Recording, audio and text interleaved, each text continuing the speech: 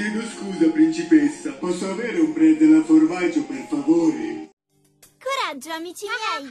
È giunto il momento di convincere la rossa Rossella a non prendere tutti gli oggetti rossi presenti nel mondo. Qui è il comandante dell'aereo che vi parla. Siete tutti pronti a partire? Sì, pronti, signor!